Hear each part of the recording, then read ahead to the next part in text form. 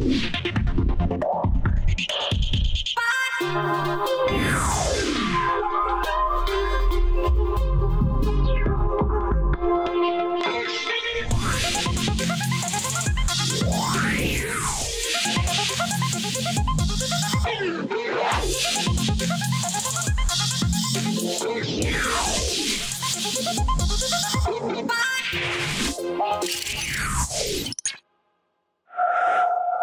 Encantada de estar con ustedes. Les presentamos nuestro programa de la serie Quehacer Virtual, donde promovemos a través de experiencias de docentes y estudiantes el lado amable de la educación. Y este programa está especialmente dedicado a educación sexual en secundaria. Y comenzamos.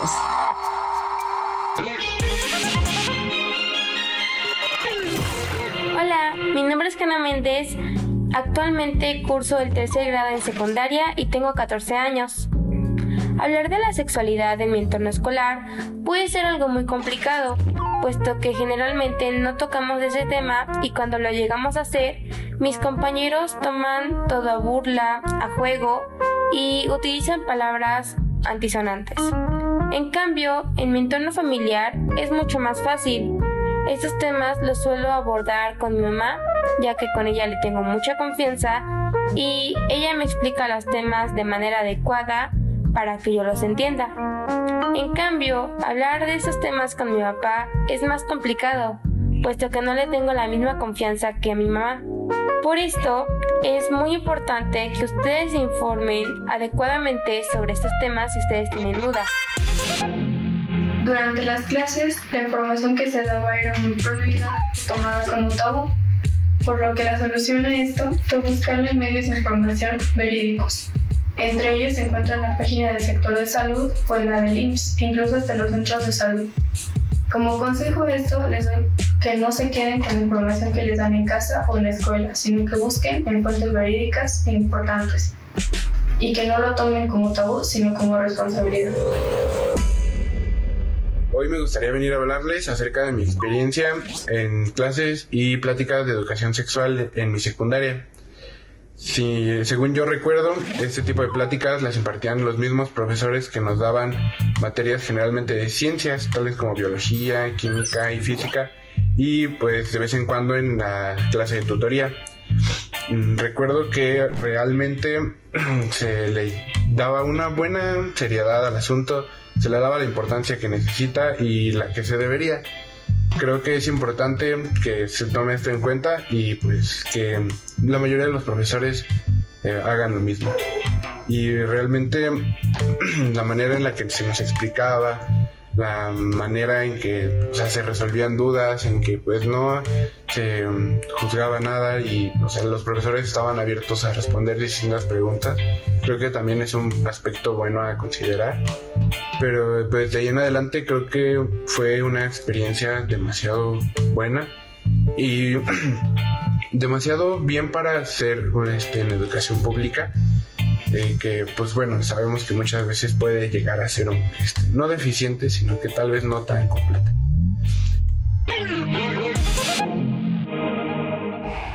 Recuerdo que como estudiante de secundaria, los temas relacionados con las diferencias en la anatomía humana entre hombres y mujeres siempre nos llamaban la atención. El salón se tornaba en completo silencio porque todos queríamos escuchar a nuestro docente de ciencias naturales explicar lo más que se pueda sobre estos temas. Sin embargo, esto se limitaba a la enseñanza sobre la reproducción humana y la gestación. No había más, lo que nos orillaba a buscar información fuera de la escuela. Mucha de esta información sin fundamento científico. Afortunadamente, en la actualidad, los planes y programas de estudio de educación básica contemplan aspectos para desarrollar educación sexual. El objetivo de la educación sexual en educación básica es tener mayor información, porque mayor información, mayor conocimiento, y a mayor conocimiento, mayor capacidad de decisión. Padres de familia, la educación sexual no tiene como objetivo que los adolescentes inicien su vida sexual, sino que estén informados para que aumenten su conocimiento y tengan capacidad de decisión. Y está comprobado que en los países donde se ha limitado la educación sexual, ha provocado que los embarazos no deseados en adolescentes y los contagios por enfermedades de transmisión sexual hayan aumentado, lo cual sucede eh, lo opuesto en los países donde se han implementado estrategias para desarrollar educación sexual. Eh, compañeros docentes, jóvenes, estudiantes de secundaria, yo les invito a que profundicen y busquen información científica al respecto, porque la reproducción, es la, la reproducción humana es parte de la sexualidad y la sexualidad es parte del desarrollo del ser humano. Los profesores los padres de familia que te van a ir acompañando en esta formación. Y es bien importante lo que se nos vaya indicando en la casa, que se hable con toda la naturalidad del mundo, que se explique, que no se preste a morbo. Y ahí es fundamental lo que nos dicen a nosotros en la casa, pero también no debemos de olvidar los profesores, pero también parecería un poco complejo, pero también hasta la gente de intendencia, hasta la gente de vigilancia en las propias escuelas, ¿por qué? Porque ellos están limpiando los baños y notan lo que se pasa, se esconde, se oculta o se hace dentro de los baños, o eh, los de vigilancia, ¿no? Cuando notan a lo mejor en los estacionamientos, etcétera, lo que de repente llega a pasar. Entonces es una eh, estructura integral, no solo de lo que sabes que le va a pasar al jovencito en ciertas épocas, sino de lo que se está leyendo, de lo que se está viendo a través de los aparatos electrónicos, y eso contrasta mucho con algunas de las cosas que representaron en los 70 para 1970-76, en el sexenio de Luis Echeverría, lo que representó estos primeros libros de texto, ¿no? Donde por primera vez se hablaba claramente de los fenómenos de la pubertad, de eyaculación, la menstruación, las modificaciones de los cuerpos en los niños y en las niñas, pero por ejemplo no se te hablaba del papel del padre en la generación, ¿no? Ahí parecería que nada más es la mamá la que tiene que que ver, ¿no? Se hablaba de la parte fisiológica, pero no se hablaba de la parte emocional y la cuestión de las actividades o las prácticas sexuales de los adolescentes eh, y que estos eran las sugerencias que se les hacían a los maestros en los textos. Para los maestros, no los libros de texto, eh, esas prácticas pues son normales, ¿no? Nada más que nosotros ya sabemos que el concepto de lo normal depende del contexto histórico. Lo más importante es que en aquellas épocas lo que se buscaba era el plano de la información, no tanto de la formación. Y creo que ahí sí ha habido una variante bastante fuerte que no significa que nosotros actualmente lo entendamos y o lo manejemos eh, con una profundidad mayor o que tenga un efecto necesariamente mejor en la educación de los chavitos y las chavitas de época contemporánea que de repente la información sí la reciben, pero es tanto el peso y tanta la información que lo que necesitan es tener criterio para saber cómo manejarlo. Por eso la importancia de las asesorías de los maestros es parte de una formación integral donde todos directivos, administrativos, intendencia, vigilancia, profesorado, padres de familia y el punto focal central, los alumnos que debemos de tratar de balancear y no dejarlo única y exclusivamente en la información, porque además sabemos que mucha de la problemática contemporánea no solo tiene que ver con la parte fisiológica, ¿no? sino tiene que ver con la parte psicológica y que si no la sabemos manejar nos está generando los problemas que tenemos en época contemporánea.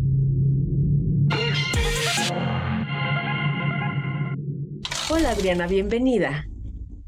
Hola, ¿qué tal? Muy buenos días. Estoy muy contenta y muy emocionada de que me hayas invitado a tu programa. Oye, Adriana, yo he pensado que la educación sexual en la secundaria tiene que ver con cómo estamos mentalmente, cómo estamos emocionalmente, porque como es dentro, es afuera. Y me pregunto, ¿qué pasa con los jóvenes de secundaria? ¿Cómo le hacemos con los adolescentes para favorecer la educación sexual? Pues yo creo que en primer momento lo más importante es darles una educación sexual. Podemos decir, en la actualidad hay tanta información que cómo es posible que el adolescente salga embarazada, la chica salga embarazada. Es que como si existe la píldora de, de ayer, ¿no? Les digo yo del ayer, del ayer. Este, pero lo que tiene que ver es que pues está ahí, pero hay muchos tabús y esos tabús se siguen manteniendo. Y el chiste sería, a ver, hay una buena educación. Primero que nada, pues yo como papá te voy a platicar algo. Yo tengo una hija, una hija que ya es grande, ya está casada, es más, ya hasta tengo una niña. Pero lo importante para mí en su etapa adolescente fue decir, a ver mi niña, tú eres dueña de tu cuerpo Tú mereces vivir tu sexualidad de la manera más sana. Tú decides. Pero eso sí, hay responsabilidades. Y cuando tú decidas que es el momento adecuado, lo tienes que planear. No puedes salir de la nada, nada más porque sí. ¿Y a qué me refiero con planear? Cuando tú quieras te llevo con el ginecólogo, te va a explicar cómo debes de, de llevar tu vida sexual, qué es correcto, qué no es correcto, cómo te tienes que cuidar. Creo que es básico e importante que el padre de familia, quitando tabús que no vienen al caso, decida educar a su hijo para que tenga una vida sexual plena. Ahora no les podemos decir a los adolescentes, ay, no, no, no experimenten, no vivan, porque la realidad nos tiene rebasados, la realidad nos ha puesto frente que es muy padre que los chicos se conozcan en todos los aspectos y si se entiende en el aspecto sexual, está increíble. Pero desgraciadamente esto no se hace, se tienen que esconder y no es sano, no los hace fluir, no los hace sentirse eh, libres y obviamente esa palabra que decían ahora, antes, ¿no? Que las abuelitas nos decían, ay, es que es puro libertinaje. No, es vida, es realidad, es necesidad, ¿verdad? Sí, oye Adriana, ¿y tú que tienes a tu cargo la responsabilidad de muchos jóvenes de secundaria? ¿Cómo haces para favorecer entre docentes y entre estudiantes la educación sexual? Aquí en el colegio procuramos todo el tiempo traer conferencias. Está el departamento médico, entonces también necesitamos que el departamento médico nos apoye muchísimo con cualquier duda, cualquier, cualquier necesidad que tengan nuestros alumnos.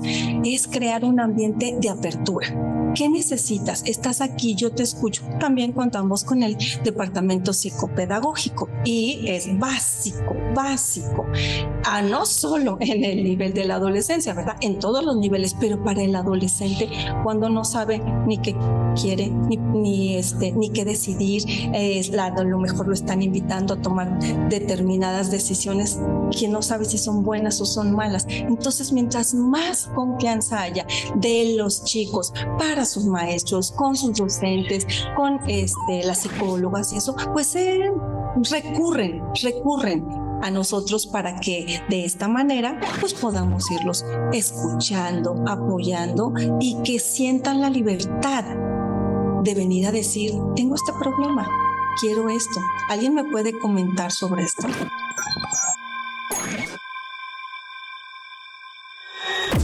Hola, yo quisiera compartir con ustedes un poco mi experiencia acerca de los temas de sexualidad eh, que se tocaban por allá los años 70 en, en, el periodo de mi educación secundaria, donde pues obviamente este tema era poco abierto, poco tratado en, las clases. En esos tiempos, eh, esta experiencia de no, no, tener fuentes de información fidedigna, pues nos llevaba mucho a hacerle caso a compañeritos o a amigos mayores, que pues obviamente eh, muchos eran eh, información imprecisa, poco probada y que finalmente confundían más que aclarar las dudas.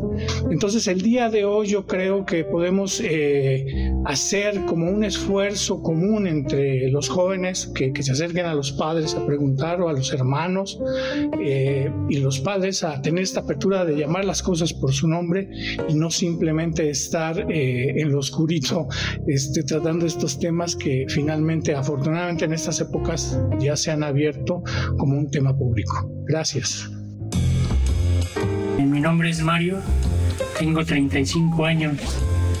Eh, yo considero que, bueno, en cuestión de la educación sexual en la época de secundaria, estamos hablando de alrededor de los años 2000-2003, yo considero que fue buena, porque pues en ese momento nos transmitían eh, videos referente al tema, así como nos trataban de comentar referente a los métodos anticonceptivos, eh, las enfermedades de transmisión sexual, eh, hacíamos exposiciones referentes al tema, eh, se dialogaba en la escuela, pero a pesar de ello yo considero que pues esa educación pues inicia en, casa de cualquier adolescente. Y en ese sentido, pues yo creo que nos falta ahondar más en ello y, estar más al pendiente de los, de los adolescentes y comentarle pues desde casa y evitar así varias situaciones en el sentido de que pues no sean eh, papás o, tengan enfermedades de transmisión sexual a temprana edad. Entonces, en ese sentido, muchas gracias y espero poder aportar eh, a la educación con, con mi experiencia. Muchas gracias. Soy madre de dos hijas adolescentes y pues quiero platicarles acerca de las ideas de la sexualidad que yo he compartido con ellas y algunos consejos que creo que nos pueden servir a todos, sobre todo en esta etapa que se vuelve tan difícil para los adultos y tan retadora para ellos como hijos.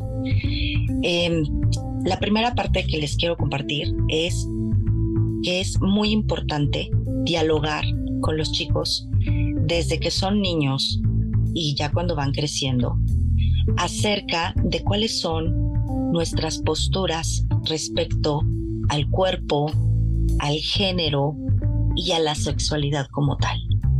Cada familia, cada núcleo familiar, de preferencia el inmediato, eh, pone sus reglas, pero es muy importante que se las hagamos saber y conversemos con ellos cuáles son. Explorar qué es lo que ellos ven, piensan, escuchan y sienten, tanto en la escuela, en la calle, en la casa. Es importante que este diálogo tenga tres momentos. Escucho, comparto y recibo la respuesta, porque justo en esa etapa las ideas se mezclan con las emociones y entre lo hormonal, lo físico, y los debates internos se vuelve muy complicado si no tienen un espacio para hablar. Es importante que también comprendamos la dificultad que ellos tienen actualmente de la presión externa. ¿Cuáles son? Estas ideas fantasiosas que aparecen en películas, en redes sociales respecto a la sexualidad, a la postura de los varones, de las mujeres, los amigos, la desinformación que puede haber en ambos escenarios puede confundirlos mucho. Pero nosotros debemos estar ahí al pendiente para poder rescatar esas ideas y darles una vía de canalización de acuerdo a lo que nosotros queremos de ellos e invitarlos a ellos a que consulten a sus núcleos cercanos profesionales. ¿Quién es un profesional? Un médico, un psicólogo, un sexólogo, que pueda brindarles información que a ellos les apene o se sientan intimidados para platicar con nosotros directamente. Denles ese voto de confianza, pueden llevarlos, ginecólogos, médicos generales, pediatras, nos pueden ayudar bastante en este tema. Muchas gracias. Y no se vayan de pinta, en un momento regresamos. Envíen sus aportaciones, me encuentran en Facebook, Twitter e Instagram como Hatsuko Nakamura. Será un gusto recibirles.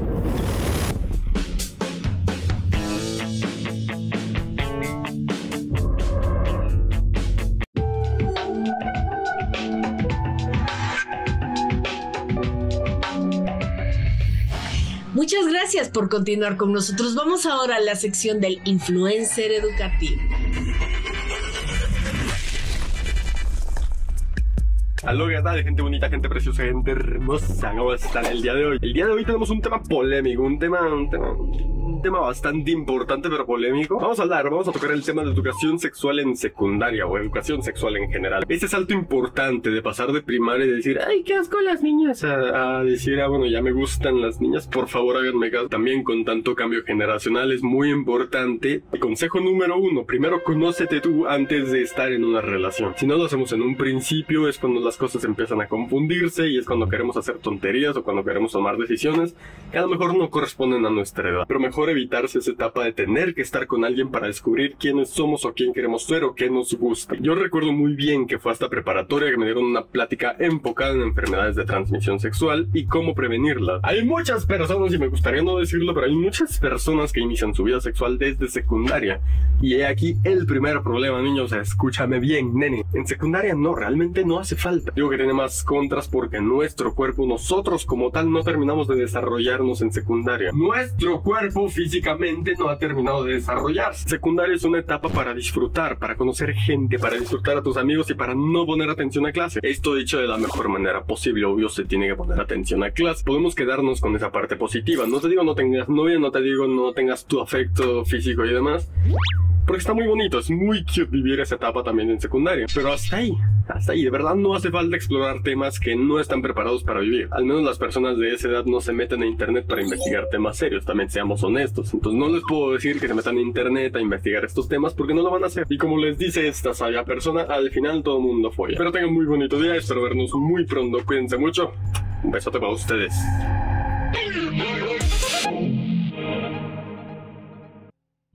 Oye, Adriana, ¿y cómo se le hace para gestionar la educación sexual y la autoestima en jóvenes de secundaria?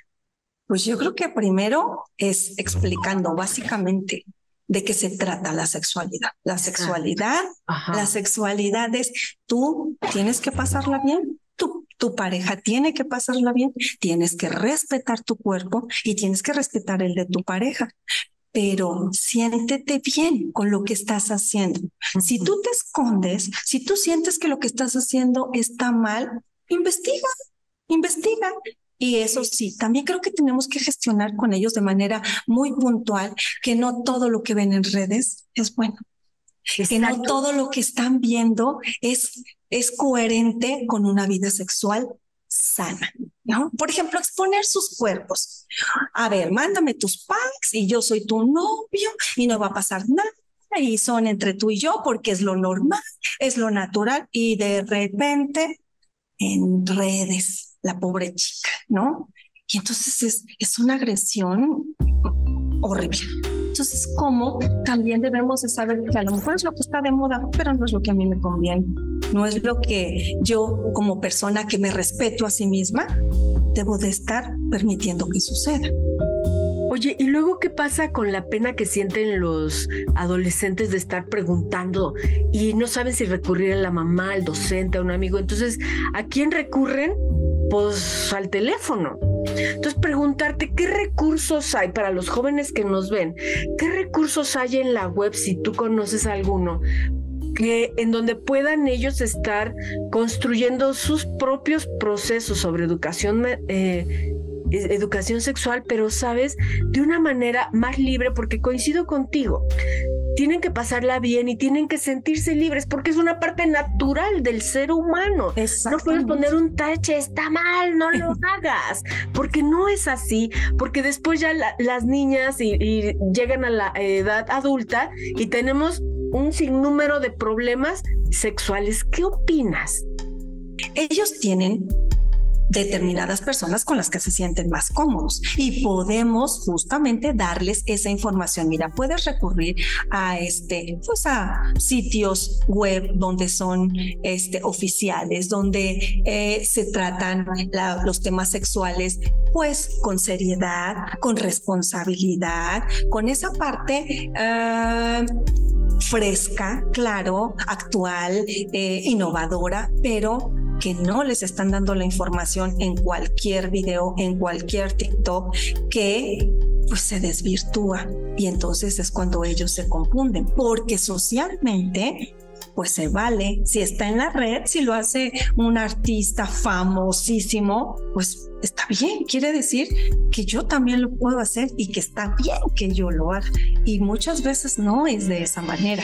Entonces, a través de páginas oficiales, como te digo, de páginas serias, claro que, por ejemplo, aquí en el colegio, pues están las psicólogas que dicen, a ver, puedes recurrir a esto, puedes recurrir a otro, pero creo también que es muy importante que sea a través de conferencias donde ellos este, puedan el acceso directo al conferencista y que les digan, pregúntame, a ver, tú aquí somos abiertos y tú pregúntame, ¿qué dudas tienes?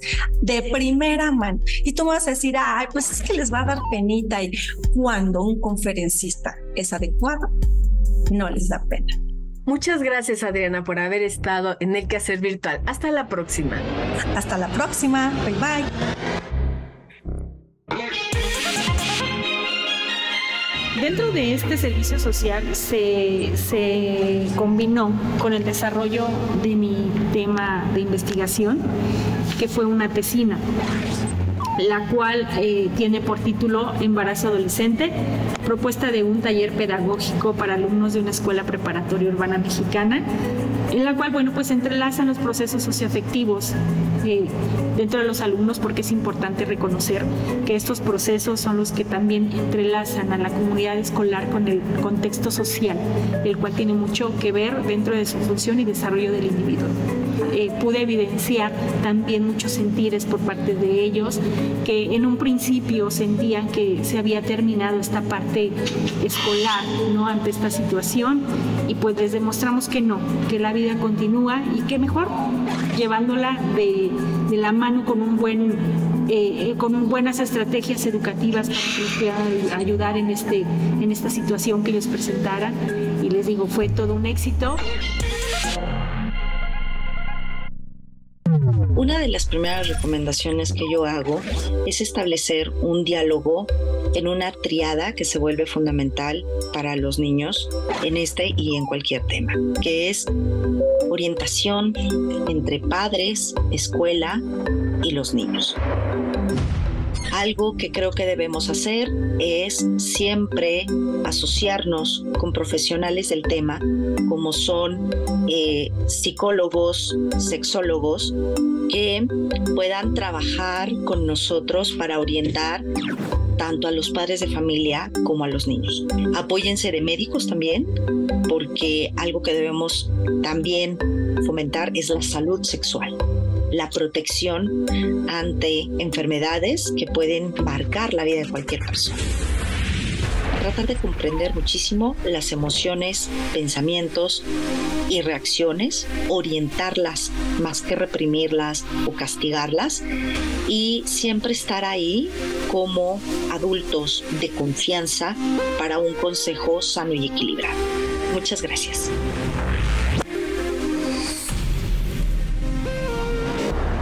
Llegamos al final de nuestro programa y en esta ocasión nuestra frase es de Anaceira Silva. Vamos a escucharla. Para tener una buena educación sexual es importante escuchar, preguntar, consultar y protegerte. Muchas gracias por haber brindado estos pasos para una buena educación sexual. Ánimo, si yo puedo, tú también puedes, todos podemos. Hasta la próxima.